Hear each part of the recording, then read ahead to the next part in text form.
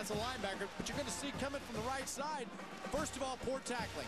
Next of all, the safeties, Chris, you see them?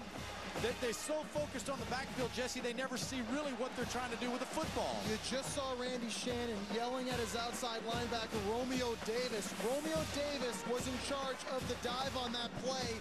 He squeezed too far inside, lost his contain, and that's what allowed Oh. Jonathan Dwyer to get outside, and he was off to the race. Romeo, Romeo, we're out there, Romeo. Boy, and Anthony Not in the right place on that play.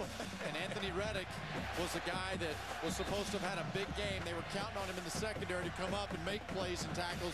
You got to go low on Dwyer. He's strong, good-looking kid. Diesel, they call him, huh? Well, he is. He just throws tacklers aside. And at 228, he can move.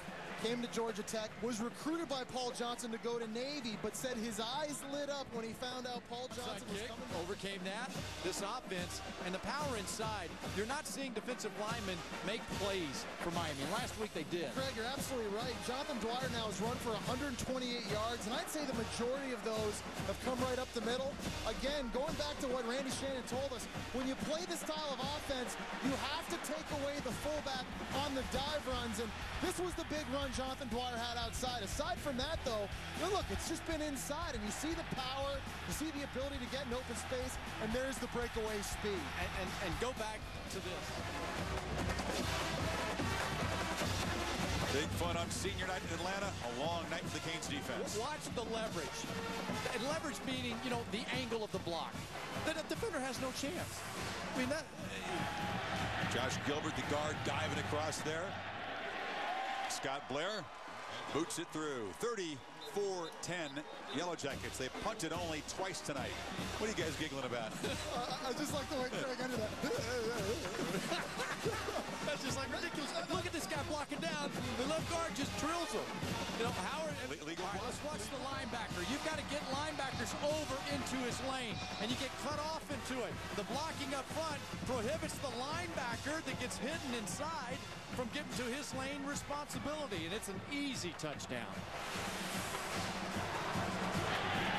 Lucas Cox joining the club. Can they get 400-yard rushers in this game?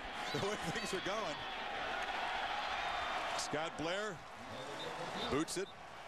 32 yards, and you know Cox has 72 yards rushing.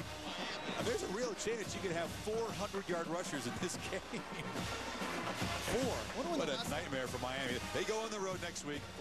Will not face the option. Final minute here. Miami will head home, deflated. The win streak snapped, but again, still in the race here. At NC State, the Jackets finish their ACC campaign at five and three. They go in and they post that score in the clubhouse, and they have to wait and see what the Cavaliers and the Hokies and the Hurricanes do in their final game, and it will not be sorted out until the final weekend, November 29th. How about 464? That works. I mean, if- they hadn't really called it off, if they'd gone full go, full bore here in the second half, left Nesbitt in there, I mean, it, it, it's scary how many they might have. And remember, Jonathan Dwyer didn't play at all in the second half. either. It's Booker on the keeper. And the senior on senior night in his final home game for Georgia Tech. Gets a chance to rip off about a seven-yard gain. It's been pretty much a party here in Atlanta for the guys in the all-white unis. Top rusher in the ACC, Jonathan Dwyer again, just a half, but 128 yards rushing. And for Paul Johnson, a very satisfying win as he turns his focus toward the Georgia Bulldogs. The ACC race, even more convoluted than it was three hours ago. And the Jackets very much in the mix. Sports Center is coming up next. Over on ESPN News, we'll have post-game extra. This has been a presentation of ESPN, the worldwide leader in sports.